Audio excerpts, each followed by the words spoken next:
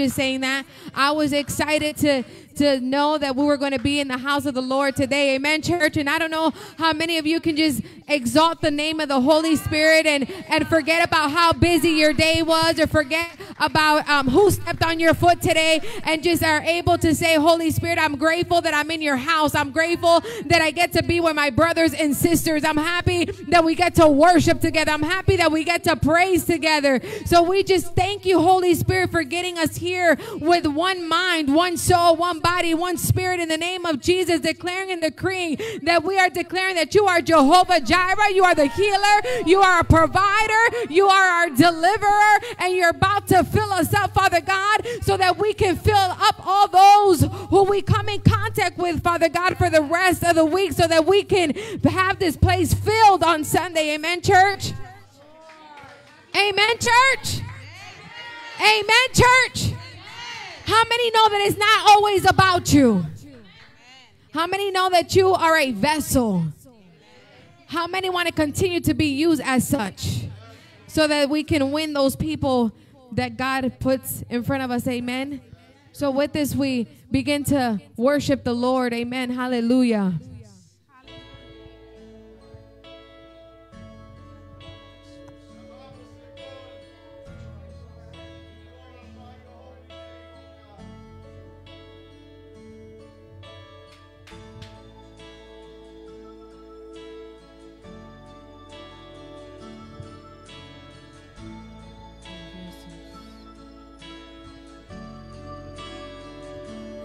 Tus pies, ande mi corazón.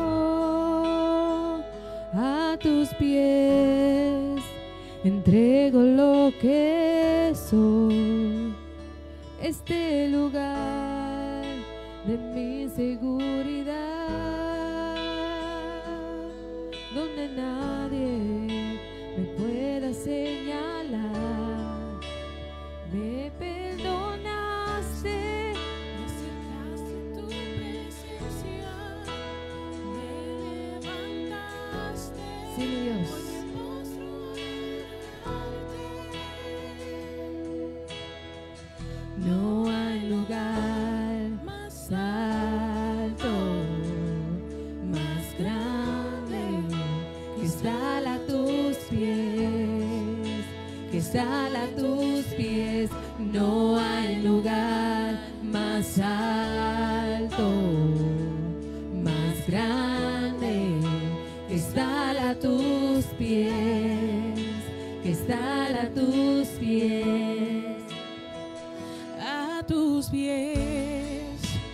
arde mi corazón.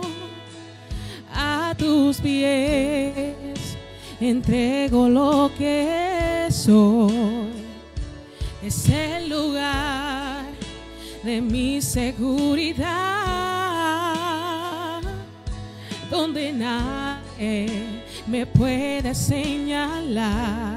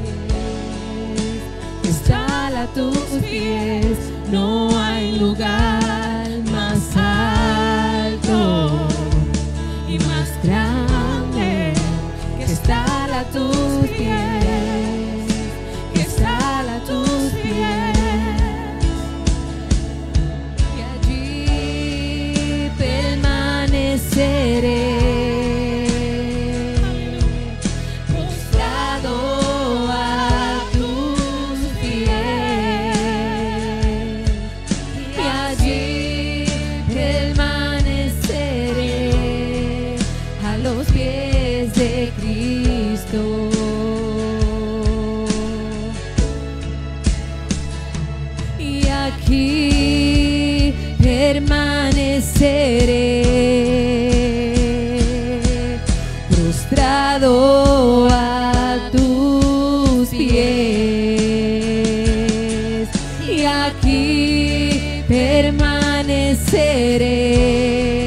a los pies de Cristo.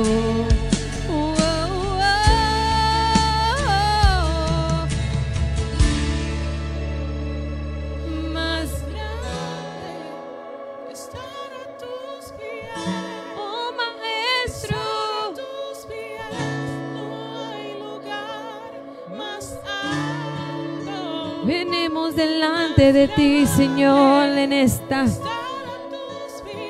en este día, Señor.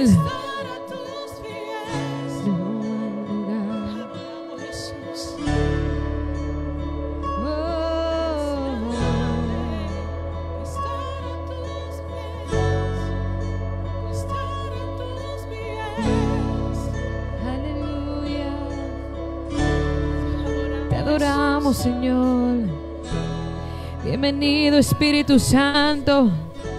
Haz lo que tú quieras esta noche, Jesús. You are welcome, Holy Spirit. We ask you to have your way in this place tonight. We ask you to have your way in our hearts, Holy Spirit. We ask you to have your way, Holy Spirit. We ask you to have your way, Holy Spirit. Only you know our need, Jesus. Only you know, Father God, what we need, Lord God. We come to lay it all on the altar. Father God, this evening, Holy Spirit, we ask that you restore the brokenhearted right now, right now, right now, Jesus, deliver the ones that are captive. Father God, bring healing to the ones that are sick in the name of Jesus. We worship you, Jesus. We worship you, Jesus. We worship you, Jesus. We worship you, Jesus. Father God, it doesn't matter what it looks like. I worship you, Jesus. I believe you, Jesus. I honor you, Jesus. I glorify you. I glorify you. I glorify you. I glorify you. I declare that chains are being broken right now in the name of Jesus. Right now, chains of confusion are being broken in the name of Jesus. Chains of doubt are being broken right now in the name of Jesus. Anything that can stop us from going into the presence of God, I cover, I sever you right now in the name of Jesus. And I declare that each and every one of us are covered by the blood of the great I am, the mighty Lamb. Oh, Señor, te adoramos, te adoramos. I don't know about you, but I know that we come on a Wednesday and we're used to the same routine. But I'm here to tell you that every time we come into the house of God, we should come with an expectation of His power. We should come with an expectation of His glory. We should come an expectation not only that we're going to receive, but that we have the honor and the privilege to worship Him, to glorify Him, to open up our mouths and to say, We love you, Jesus. We need you, Jesus. We need you, Namashete Messiah. We worship you. We are hungry for you, Jesus. We want more. We want more. We want more. We want more. I want more, Jesus. I'm thirsty for you, Father God. I'm thirsty for you, Holy Spirit. We love you, Jesus. We love you, Jesus. We love you, Jesus. If we can put Holy Spirit, you are welcome here. Because we tend to forget that the one that we came to meet with was with the Holy Spirit. And before I give the mic to the minister tonight, I'm going to give him the mic with the atmosphere already ready and shifted. I'm going to give him the mic where souls are ready to receive what God has for us. Hallelujah. We worship you, Jesus. We worship you, Jesus. I want the instrumental. Hallelujah. We worship you, Jesus. We worship you. We worship you. We worship you. We don't come to waste our time. We don't come because we have nothing better to do. We come because we know that there is power in the name of Jesus. We know that there's someone greater than us. We know that there's someone more powerful than us. And we submit ourselves to you, Jehovah. We submit ourselves to you, Yahweh. We submit ourselves to you, Almighty Lamb of God. We submit ourselves to you because you are much greater than who we are. We mean nothing. We are nobodies without you, Jesus. And I'm not ashamed to worship you. And I'm not ashamed to glorify you. And we're not ashamed to lift your name on high. And we're not ashamed to say that we need you. And we're not ashamed to say that we want you. And we're not ashamed to say that we're hungry and that we're thirsty for you, Jesus.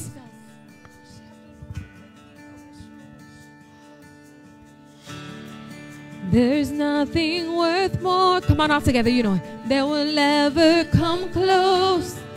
Nothing can compare. Come on, y'all. You're our living hope. Your presence, Lord. Hallelujah. I've tasted and seen of the sweetest of loves. Come on. When my heart becomes free, Declare my shame is undone. There's no shame in the presence of God. Your presence,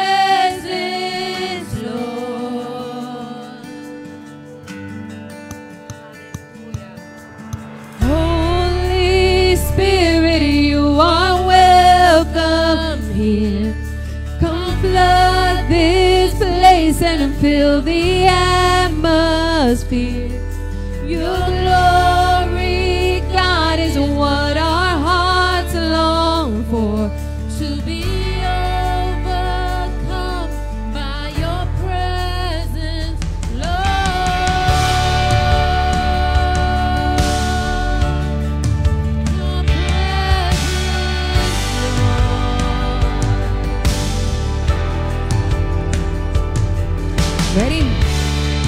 There's nothing worth more that would ever come close. Nothing can compare. You're our living hope. Your presence, Lord.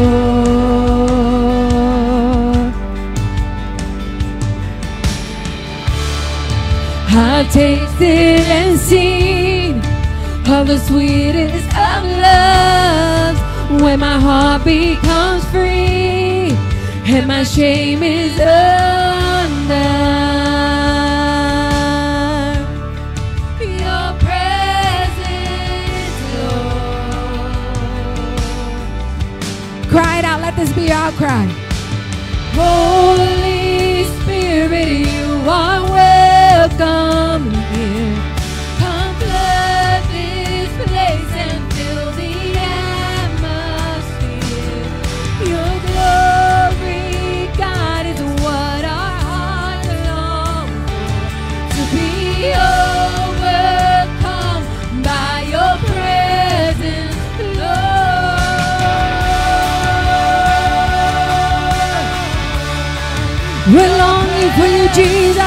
We're longing for you tonight, Lord. We ask that the heavens are open and that you pour out, Jesus.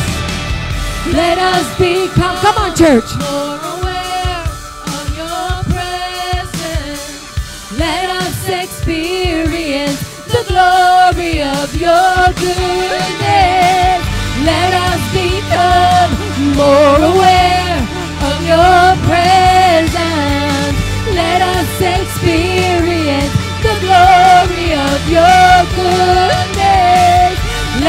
become more aware of your presence. Let us experience the glory of your goodness. Let us become Let us become. of your presence. Namashetere Messiah. We want more, Jesus. Glory of your I want more. I want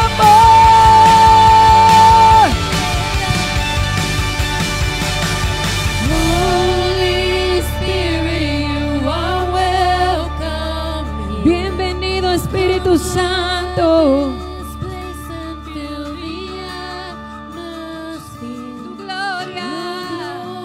Your glory, your glory, your glory. To be overcome by your presence, Lord. Come on, let us give the Holy Spirit a round of applause and a warm welcome into this place. Many times we believe that the Holy Spirit is just subject to a building or a religious facility, but in reality, the Holy Spirit's only subject to a soul that's willing to invite Him in. Amen.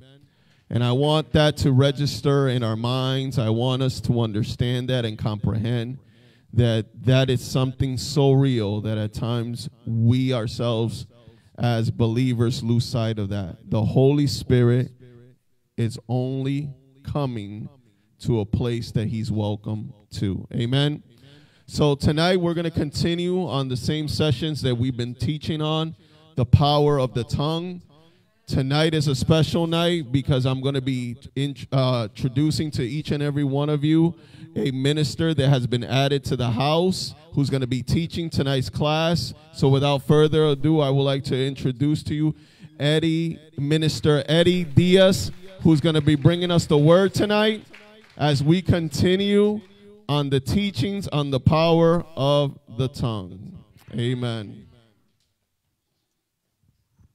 God bless the church. Amen.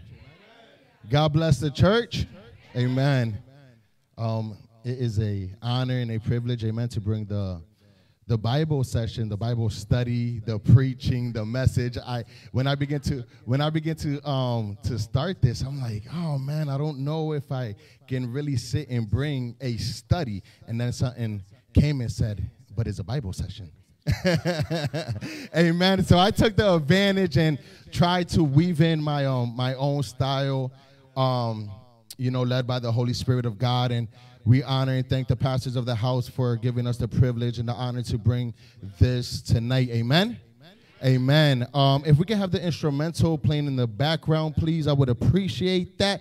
And um, like Pastor said, we are going to talk about the power of the tongue. I got to admit, nine years of being um, a participant of the church, this is the first time that I will be bringing the power of the tongue. Never spoke about it, and um, it was it was nice. It was nice because it's a reality, and in the midst of bringing this, you actually start checking yourself, and you start to say, and you start to realize, you know, I need to have more control of my tongue. So, like I was saying, tonight's title is The Power of the Tongue. Power is defined as possession of control, authority, or influence over others. In the book of Ecclesiastics, chapter 3 7, it says, A time to tear and a time to mend, a time to be silent and a time to speak. And I just want to focus on that last part of the verse. It says, A time to be silent and a time to speak. Now, when we look at the definition of the word power, it is defined as possession of control. There is a time to be silent, and there is a time to speak. Power is authority. There is a time to be silent, there is a time to speak. Power is influence over others. There is a time to be silent, and there is a time to speak. You hold that control. You hold that authority. You hold that influence over others. Look at somebody and say, It's all on me. I said, Look at somebody and say, It's all on me. I said, Pablo, look at Stephanie and say, It's all on me. Stephanie, look at Pablo and say, It's all on me. I said, Pastor, it's all on me.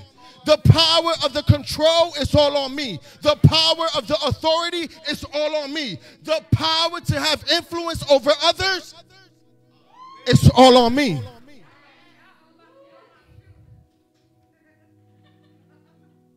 See, my paper said, look at somebody and say it's all on me. But we already did that, didn't we?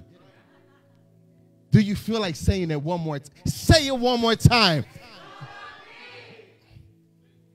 The beauty of the tongue is that if you decide to be silent or if you decide to speak, it has the same value. It holds power. The tongue has value, it holds power whether you use it or not. I said the beauty of the tongue is if you decide to be silent or if you de- decide to speak, it holds the same value as the tongue.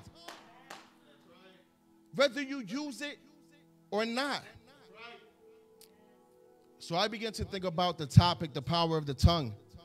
And I began to think about the power and the silence of the tongue to contain it, to control it, to hold it. King Solomon, the wisest man on the face of this earth, knew the importance of silence and speaking, but overall, the timing of when it should be put into action.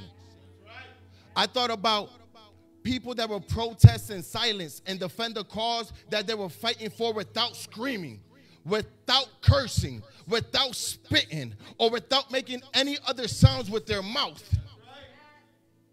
The power that they were containing by just being stuck and saying, I defend this purpose, but I will remain silent with no words. That's the power of the tongue. Because people want to provoke you and people want to shake you up and people want to take something out of you. They just want to say, Talk to me. They want to take a reaction out of you. And when you come in, you remain silent. A man of authority and a man that has control and a man that have influence over others, people are gonna keep jerking you. We want to see something out of you. We expect it. We need it. But that's when it falls on. It's all on me.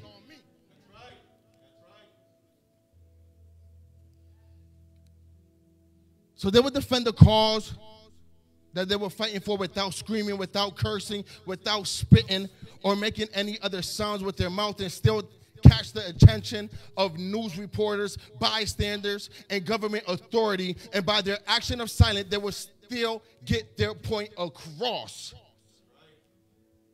They will still get their point across. They will still have the police come and try to drag them out. They will still have bystanders coming and saying, What's going on over there? By just simply sitting down and staying shut.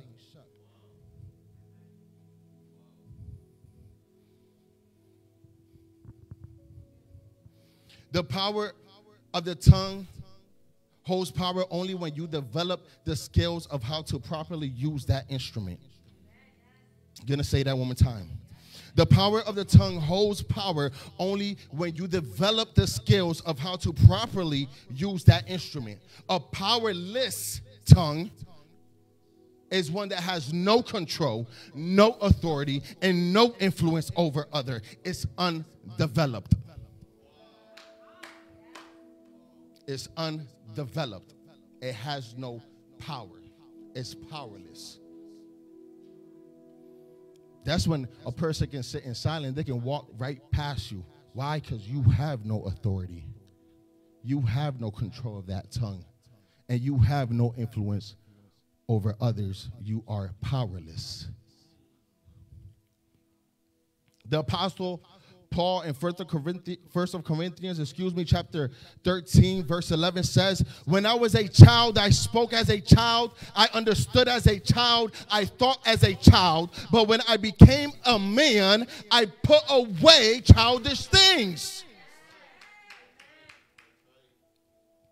A child's speech is undeveloped. His understanding is crude, meaning not yet processed or refined. In other words, unpurified. But when the child becomes a man, his speech becomes subject to his mind, his understanding is tempered, and his knowledge is complete. Is then when your silence becomes powerful. Is then when your speaking becomes powerful. Is then when your tongue becomes powerful. It is fully developed. The book of James, chapter 3, 8 says, But no man can tame the tongue. It is unruly evil, full of deadly poison. In other words, every man falls into a season where their tongue continuously erupts in outbursts of uncontrolled emotions. Should I repeat that one more time? I said, in other words, every man falls into a season. You will fall into a season where your tongue will take the control and the mix that is going on in your emotions and it will erupt. And now your emotions are building up and you're just speaking, you're just speaking, you're just speaking without thinking. Uncontrolled emotions. If you don't have control of your emotions, you're not gonna have control over your mouth. You're not gonna have control over your tongue. It's impossible. Church, be wise not to be contaminated. I said, church, be wise not to be contaminated. There is a source of division in unity when united minds become contaminated tongues. I said there is a source of division that wants to come in unity and make everybody under the same mindset of having con- contaminated tongues. Just because you see a group of people and we speaking the same thing, it doesn't make it right. That's why there's a source of division and unity. Division and unity. When united minds become contaminated tongues. Now, what was given good for edification becomes destructions to others. What was given to impart grace to hearers becomes death. You can find that in Ephesians 4:29. Now you are surrounded by the thought of death, the feeling of death, and the speaking of death. In other words, there is a declaration of death. Someone has spoken and someone is still speaking. There are people that are declaring death over the church, death over the prophets of God, death over the establishments and the principles of God, death over ministries, death over household, death over genders, death over generations, death over nations, communities, and most importantly, death over you. There is a cloud of darkness that is trying to overpower your light and leave you lifeless. Demonic strongholds that are not allowing you to expand in the territory that God has given you. There is a different language that is trying to possess your mouth so that your mouth can only contain death. Tell somebody it's all on me. Tell somebody it's all on me. In the book of John 11, Jesus faced with the death of his friend Lazarus. Through this chapter, we can see that Jesus himself was confronted with believers that didn't believe. He was confronted with believers that didn't believe. They believed to a certain extent. With people that couldn't obtain the words of the living God due to what they have experienced, meaning the death of Lazarus. And mocked. He was also mocked. But not for once did he doubt the fact that the death of Lazarus was for his glory. It says, John 11, 17 reads, Now when Jesus came, he found that Lazarus had already been in the tomb four days. Bethany was near Jerusalem, about two miles off. And many of the Jews had come to Martha and Mary to console them concerning their brother.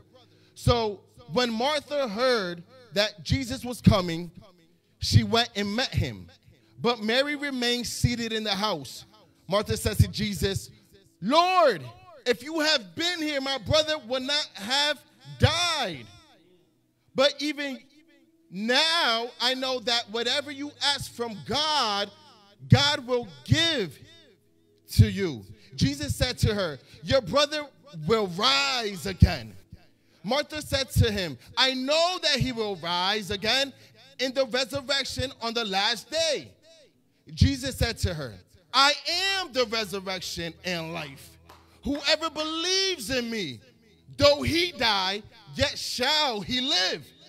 And everyone who lives and believes in me shall never die. Do you believe this? She said to him, Yes, Lord, I believe that you are the Christ, the Son of God who is coming to the world. But she didn't answer the question.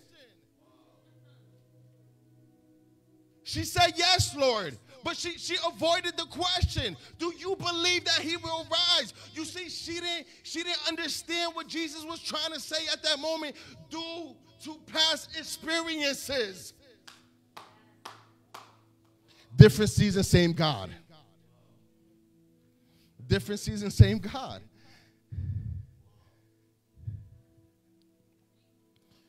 When she had said this, she went and called her sister Mary, saying in private, The teacher is here and is calling for you. And when she heard it, she rose quickly and went to him. Now, Jesus had not yet come into the village, but was still in the place where Martha had met him. When the Jews who were with her in the house consoling her saw Mary rise quickly and go out, they followed her, supposing that she was going to the tomb to weep there. Now, when Mary came to where Jesus was and saw him, she fell at his feet, saying to him, Lord, if you have been here, my brother would have not died. When Jesus saw her weeping, and the Jews who had come with her also weeping, he was deeply moved in the spirit and greatly troubled. And he said, Where have you laid him? They said to him, Lord, come and see. Jesus wept.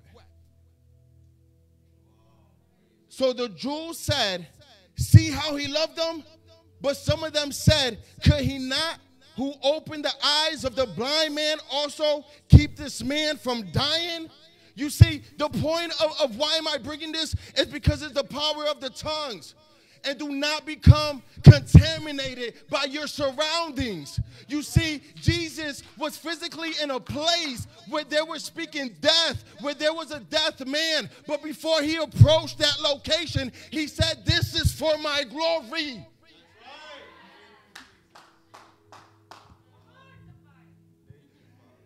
I see is death. When I approach them and I say, Do you believe? They say, I believe, but he dead. He's dead.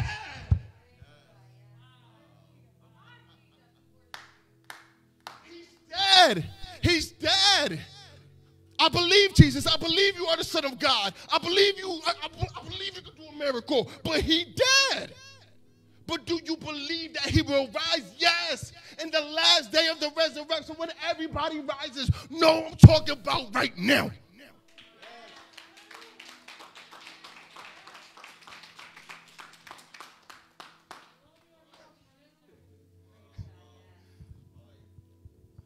Give God a round of applause while I take a drink.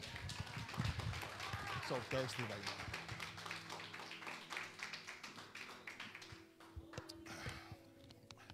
Thank you so kindly. Where were we? I told I told Pastor Millie, tell Pastor I don't think I'm gonna need 45 minutes. I don't think I'm ready for this right now. I told my wife too, like, I don't know, I don't think I got enough. I bought a binder because I see how the ministers roll up in here with their binders.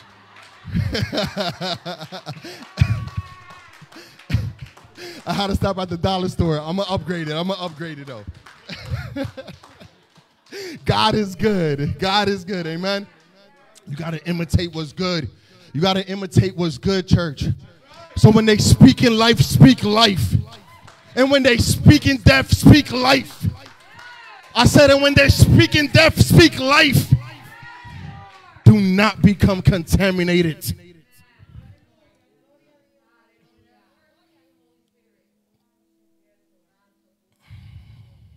Jesus wept. So the Jews said, See how he loved him? But some of them said, Could he not, who opened the eyes of the blind man, also have kept this man from dying? Then Jesus, deeply moved again, came to the tomb. It was a cave, and a stone laid against it. Jesus said, Take away the stone. Martha, the sister of the dead man, said to him, I'm telling you, this just, we're not understanding each other here. Jesus was not, they were not understanding what Jesus this Lord, by the time there will be an odor, for he has been dead four days. Jesus said to her, Did I not tell you that if you believed, you would see the glory of God? So they took away the stone, and Jesus lifted his eyes and said, Father, I thank you that you have heard me. I knew that you always hear me.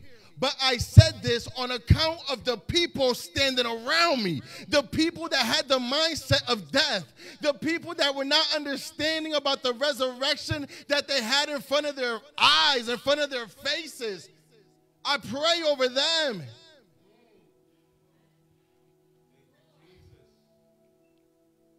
That they may believe that you sent me. When he had said these things, he cried out with a loud voice, Lazarus, come out! The man who had died came out, his hands and feet bound in linen strips, and his face wrapped with a cloth. This man was dead. I don't know if you watch zombie movies. He was a zombie, if, if you could relate to that. I don't know if you believe in a dead man walking. If you want to relate to that, relate to that. I don't know if you can comprehend what was going on. The power of the tongue. Jesus called him by his name Lazarus, come out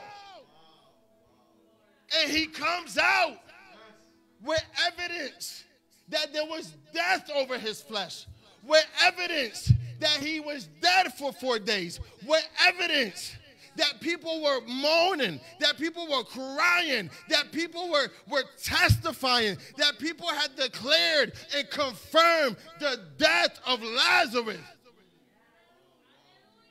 He came out with all types and forms of confirmation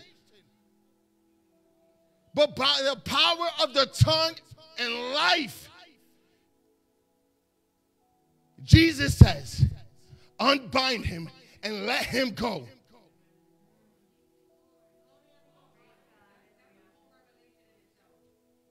Tell somebody it's all on me.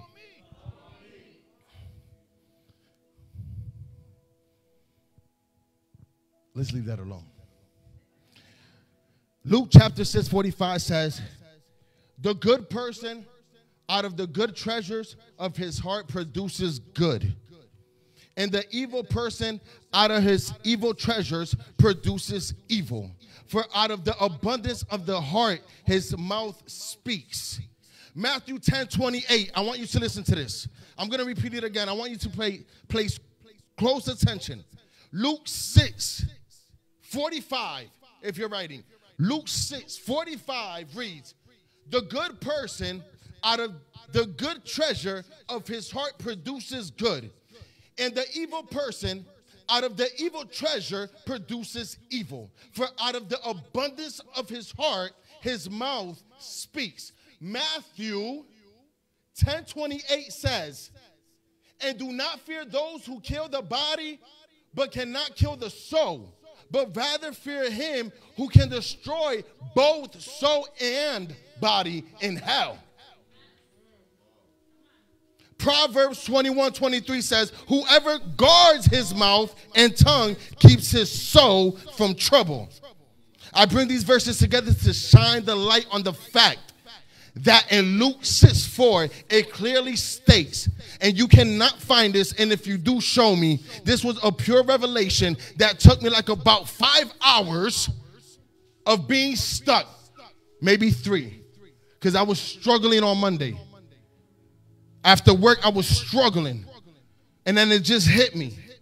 I kept putting it on the, on, on the laptop and I kept erasing. No, I kept putting it on the laptop and kept erasing. But I bring these verses together to shine the light on the fact that in Luke 6 4, it clearly states that a good person, meaning body, out of the good treasures, spirit of his heart, soul produces good. And the evil person, body, out of his evil treasures, spirit produces evil, his soul. For out of the abundance of his heart, so his mouth speaks. I'm gonna repeat that one more time. It says,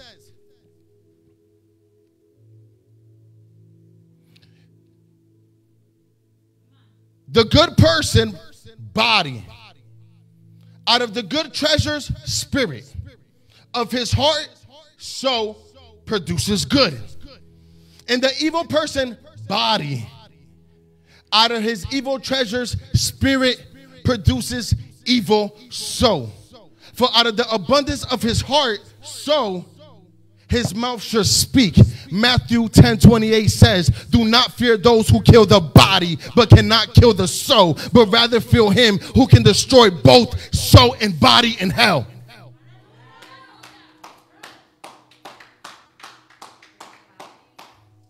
We prevent Matthew 10 28 happening, meaning destroying both body and soul in hell, by simply Proverbs 21 23 that says, Whoever guards his mouth and tongue keeps his soul from troubles equals hell.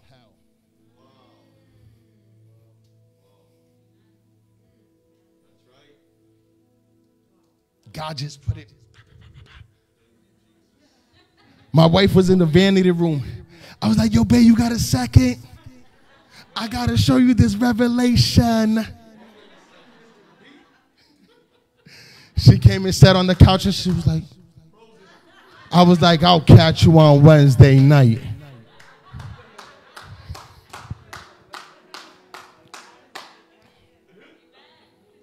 To conclude this Bible session on the power of the tongue, I wanted to point out the definition of the word power. Remember, church, possession to control, authority, and influence over others. And that in our seasons to discern the time to be silent and a time to speak. You hold that power when your tongue is fully developed. Remember, it's going to take some time. And unfortunately, for some people, this can take a lifetime. Do not be contaminated with the thoughts and the language of death, and always be aware of your surroundings. Identify these things and begin to ask yourself Am I becoming powerful or powerless? Never doubt that you that you are life and that God, the God that you serve is life. Meaning, take control of your season and begin to speak life into death. Overall, it's all on me. Overall, it's all on me. Wayne, it's all on me. It's all on you. Guard your heart, guard your soul. We know that fearing people that carry powerless tongues can result in us becoming powerless and speaking evil. The punishment for that is hell.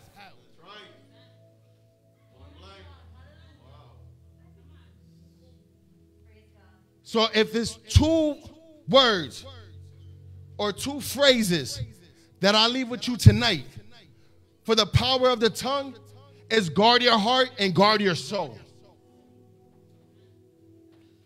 Because once those two things are guarded, then your tongue and your mouth is guarded. And at times, we need to understand, and I just want to focus on this before I give my part, is the influence. Is the influence. You can become a positive influence over others, or you can become that person that is contaminated, that allows people to come and contaminate you with thoughts, and you begin to speak a language that is evil that's only going to result in hell.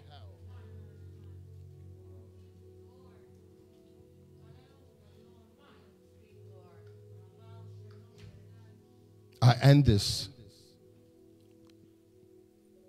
with the phrase, say it, y'all. It's all on me. God bless you, church. God bless you, church.